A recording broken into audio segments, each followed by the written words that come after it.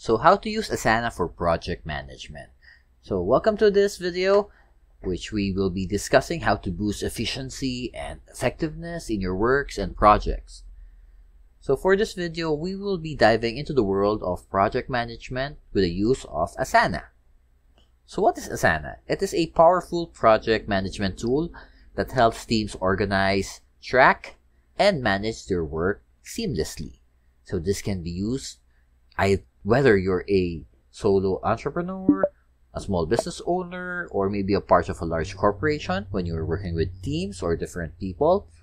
So this website can revolutionize the way you collaborate and get things done.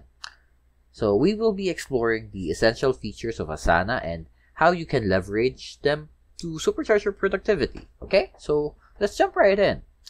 So first thing is we need to get started with Asana. So let's load up the website and remember to sign up for an account if you haven't done yet. So after creating an account, feel free to explore the basic features. So once you're logged in here, you'll be greeted with this clean and intuitive interface designed to streamline your project management workflow. So as you can see, uh, here are the tasks that you have uh, upcoming, overdue, and those that you have completed. So you can add in things here. Uh, the projects are here and who are included in your projects, tasks that you have assigned to your team members, your goals, your individual goals, your team goals, and of course the people or collaborators that are included in this team. So you can customize this area so you will be able to seamlessly see the things that are going on in your project. Okay? So step two here is to create projects and tasks. So projects are the backbone of your workflow. They help you organize and structure your work into smaller, manageable units. So to be able to create a project, simply click on the plus icon here, choose project, give your project a name, set a due date if applicable, and add any other relevant details. So once your project is created, so you can start by adding tasks here. So just clicking the plus window within this project. Okay.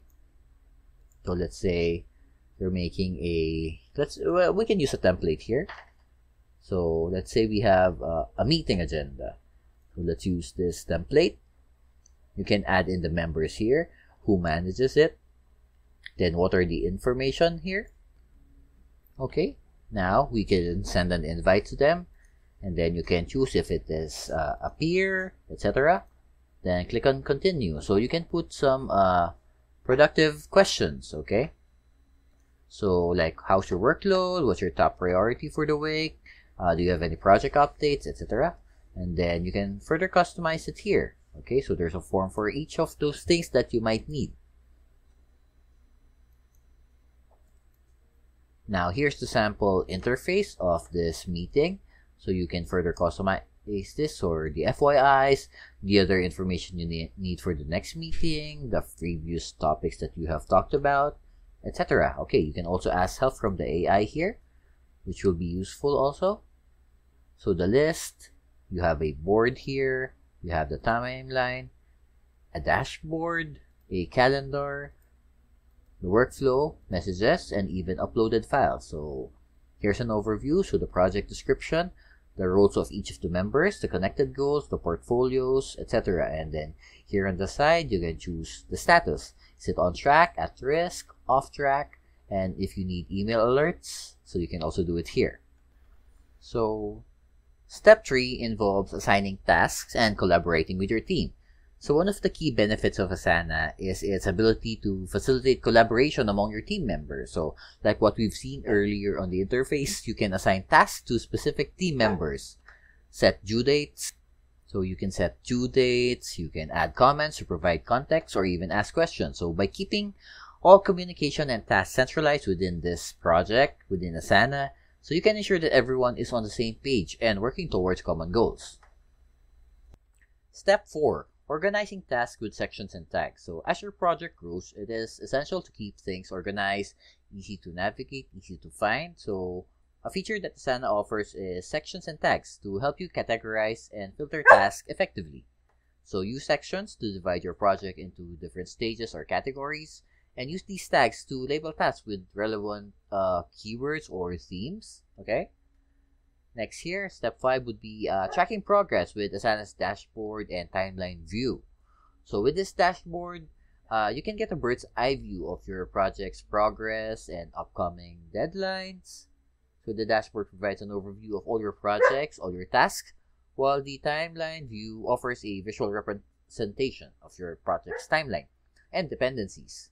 So use these uh, different views to be able to identify which are the bottlenecks, so which should you uh, reallocate your resources to be able to use them effectively and keep your projects on track.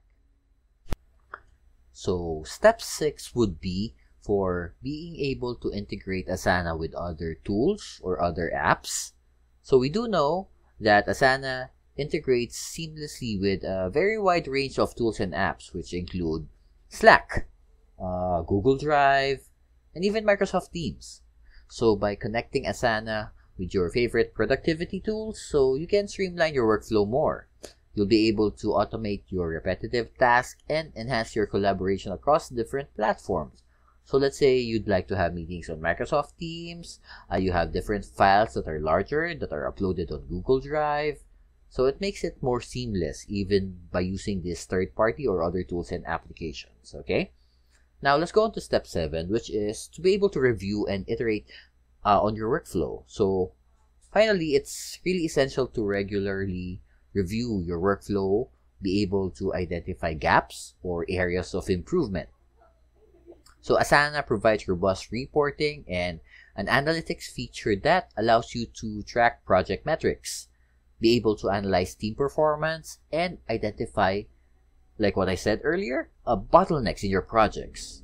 So you'll be able to use this data properly by iterating it on your workflow, implement the best practices, identify the gaps, and continuous, uh, continuously uh, optimize your project management processes.